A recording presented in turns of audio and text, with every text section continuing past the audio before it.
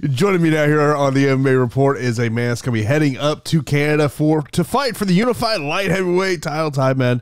As always, appreciate time. You know, when I saw this fight announcement by Unified, one of the first thoughts I you know I thought of was uh, because uh, you know they just had as we're talking they had a card last night, and you know, and I saw some Americans that were going up there, and of course the borders open up. So, how did this matchup come together for you?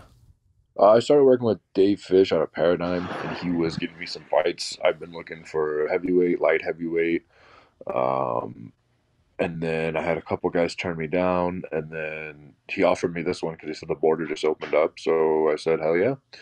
And then here we are. In terms of other guys turning you down as an opponent, like is that is it frustrating? Is it in a weird way a compliment? No, I mean it, it's the game. Some guys will, you know, talk about like, "Oh, dude, these guys are running for me," or this and that, and it's like, I mean, some fights are just better than others, and mm-hmm. uh, you know, to be honest, like, I think everybody does it. Like, I, I don't remember ever really turning down a fight, to be honest, not to like make myself seem better than everybody, mm-hmm. but it is like I don't know. I'm not gonna hate because it's you know where I'm from originally in the Midwest. I feel like a lot of guys take dumb fights. You know, I took dumb fights. My third pro fight, I fought Jeff Neal, who was like seven and one with all knockouts, and it's like that was probably a dumb fight for my third pro fight.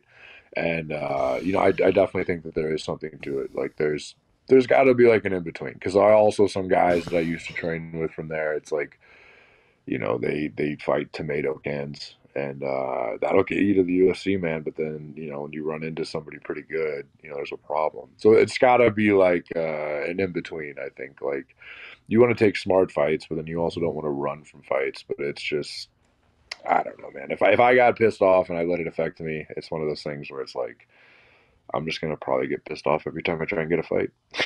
yeah, it's it's funny you say that because it, it thinks this conversation I had the other day with with a regional matchmaker, and and they were saying like you know hey you know sometimes guys will get frustrated about you know X fight being turned down. he said he goes, but he goes, I get it. Like at the end of the day, in the regional scene, we all know what you're trying to get to. It's about finding the fight that fits your style. You know, it's like he's like you know he's like he's like hey if you're a, a striker he goes if i if i pitch you a wrestler and you're say three four fights in your career yeah you probably turn the fight down.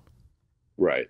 No yeah 100% and it's again you want to be able to fight a good wrestler and get you to that point but it is like you know if there are better matchups available then then you know let's go. Like i think around no i was a little bit further. At the end of last summer i had turned down a couple fights um, just because some guys had said no or whatever, um, and then tried to fight again, or you know, because like of my list of opponents available, some of them were UFC vets. So it's not like I was looking for quote unquote easier fights, but it's like you know if I fight some guy who you know has a whatever record and hasn't really fought for any big promotions. It's Like, where does that put me? But then, oh, if I fight this guy that fought in the UFC, it's like, well, if that's on the table, it's like, sure. So I, I, actually, I did hear some guys talk about that. It's like, yeah, I did turn you down, but it was because I was actually trying to get a tougher fight. I was trying to get a guy that's gonna, you know, put me in the UFC after a win like that, or you know, not still be like, all right, well, well you know, in, in one or two, we'll see.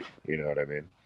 So there, there's a lot also I think with promoters they don't always tell the the fighters. You know they'll definitely. Try. I think sometimes that uh, promoters will definitely try and like you know tell a fighter one thing or tell them another. It's like they're all fucking shady. You know what I mean? It's mm-hmm. like to be a promoter. It's that's just the nature of the game. It's like I always take everything they say with like a pretty big grain of salt. So you know, you mentioned a, a, little while ago that you know when you were you were looking for opportunities for fights, whether it was light heavyweight or heavyweight. Um, like a, as you think about you know the, the goals that you have and where you want to be, do you do you see yourself ultimate one division over the other? Yeah, definitely 205, but it's like, you know, I mean, most heavyweights, even in the UFC, just are fucking slobs.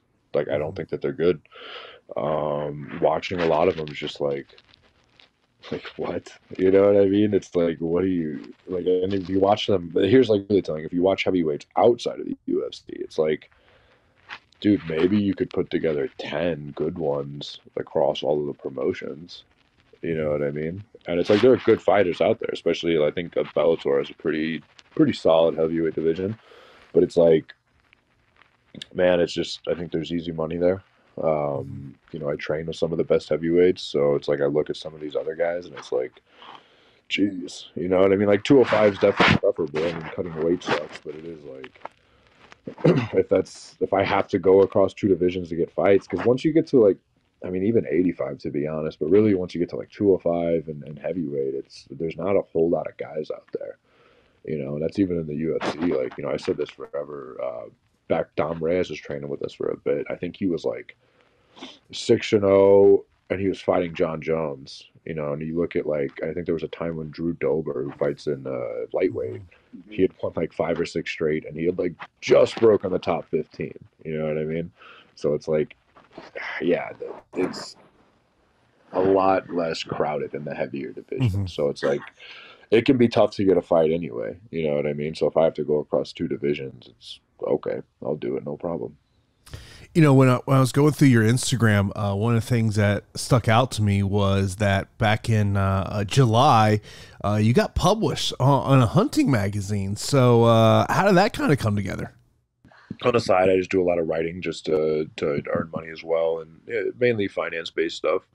Um, and I actually had another one published here this month. Um, I have to check and see what what magazine that was in because I kind of forgot. I, I, I, submitted it a couple months ago. Um, but hunting is a big passion of mine, and, and so is writing. So it's uh, it's something that's pretty cool. Um, I want to probably I'm kind of leaning towards doing my own thing and just self publishing a lot of stuff. Um, but you know, writing, like I said, it's, it's what I do for work. Um, I mainly do financial stuff, which is boring.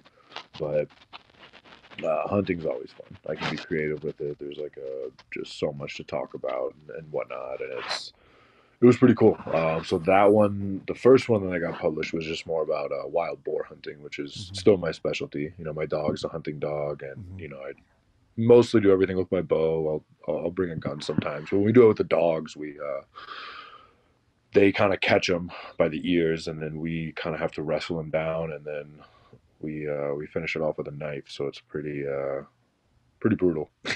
Not brutal, I should say, because that's it's uh, very hands on. I have a teammate or two. I have a lot of teammates that have said they really wanted to, and I'm like, I mean, that's about as hands on as you're gonna get. So I, I hope that you can do that. And if you fuck up, it's you know they will bite you. You got this fight here, Unified MMA for, uh, 49, December the 17th. So as we're talking, two weeks out from this matchup, taking on Graham Park. Uh, what's your thoughts on Graham as an opponent? Um, you know, it seems like he hasn't really left Canada. Um, fighting a lot of local guys there. Um, it seems like the promotion that uh, Unified is just trying to build them up. Uh, we've kind of talked about that. I've definitely fought for promotions that have done that with me. Um, I don't think he's fought the highest caliber of guys, to be honest. Um, I think that he also hasn't fought in about a year, so it's it's going to be a tough outing for him. I think. Mm-hmm. Um, yeah, I mean, it's definitely going to be a step up in competition for him. Um, I'm going to be going up into his home territory, but that's not a big deal for me. Hmm. I actually kind of prefer it that way. I, I hmm. kind of like it. So, in terms of uh, your your key to victory, what what do you believe is one of the keys for you to walk away with the title? Um, I just got to stay true to my style, stay unorthodox. Um, I do things a little bit different. Um, so I think he's going to have a tough time handling that. Um, with the striking, I mean, I switch stances a lot, so it gets. Uh, I mean, even the guys I'm going with every single day, it, it takes them a while to like really kind of figure out my rhythm.